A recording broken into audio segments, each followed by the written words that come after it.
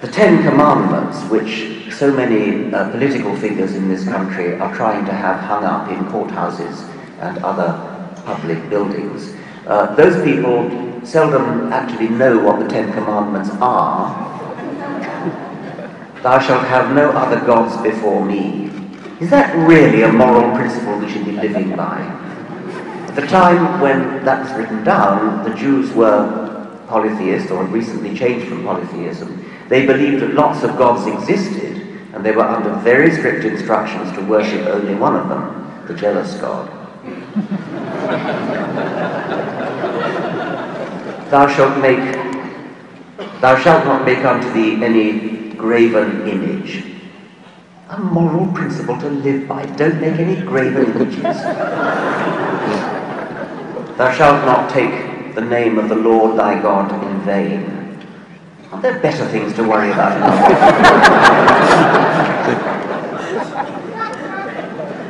Remember the Sabbath day to keep it holy. You may be familiar with the passage in Numbers 15:32, which I'll read to you. And while the children of Israel were in the wilderness, they found a man that gathered sticks upon the Sabbath day. And they that found him gathering sticks brought him unto Moses and Aaron and unto all the congregation. And they put him in ward, because it was not declared what should be done to him. And the Lord said unto Moses, the man shall surely be put to death, and the congregation shall stone him with stones without the camp. And the congregation brought him without the camp and stoned him with stones, and he died, as the Lord commanded Moses. What a wonderful moral God!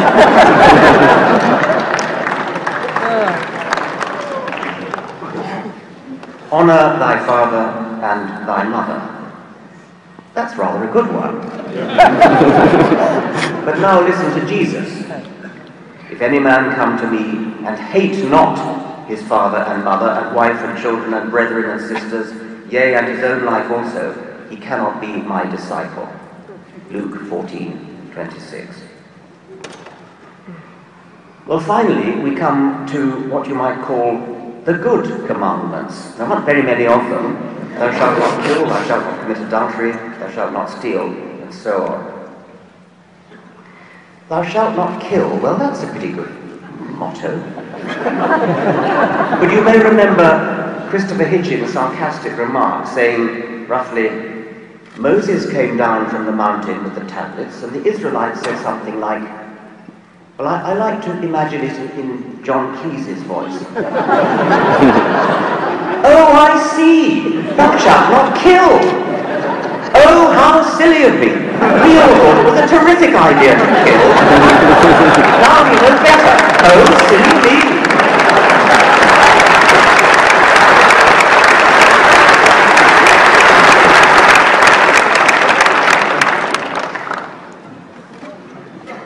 Anybody who has ever read the Old Testament will certainly not wish to get their morals from it. And if you meet anybody who gets his morals from the Old Testament, uh, I think you'd be wise to give him a wide berth.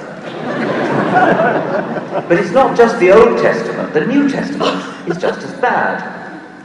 The odious doctrine of the redemption of sins by Jesus. This is not Jesus' own doctrine, by the way, this is uh, St. Paul. Um, I used to know uh, a very distinguished scholar of ancient history uh, whose life's work was to try to decide whether Plato or St. Paul was the greatest shit of all time.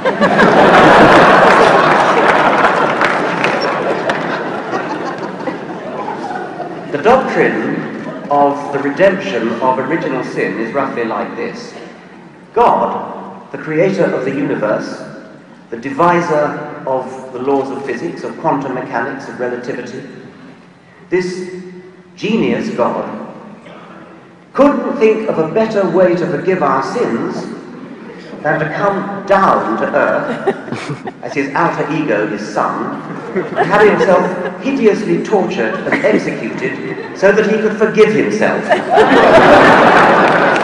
on behalf of all mankind, including future people, whether or not they actually intended to sin when their time finally came.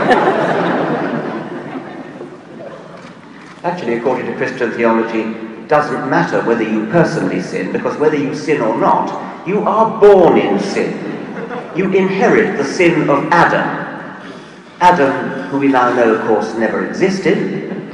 You inherit the sin of Adam, and it comes down to you, according to St. Augustine, via the semen of all your male ancestors since Adam. What a disgusting doctrine. we are all born in sin because of our remote ancestor Adam, who never existed, and the doctrine of original sin still goes on, even in churches such as the Roman Catholic Church, which presumably accepts that Adam uh, never existed.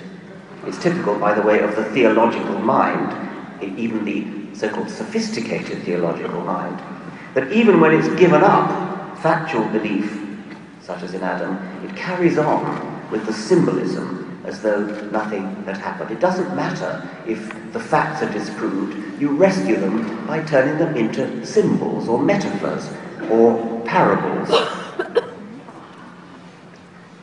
well, we better not get our morals from the New Testament either, or the Quran for that matter.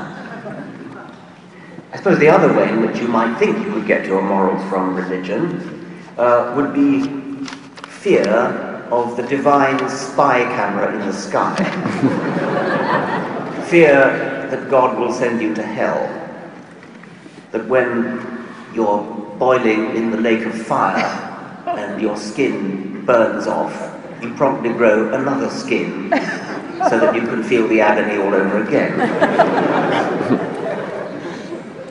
there seems to be a sort of inverse relationship between the plausibility of a punishment and its terror and its terribleness.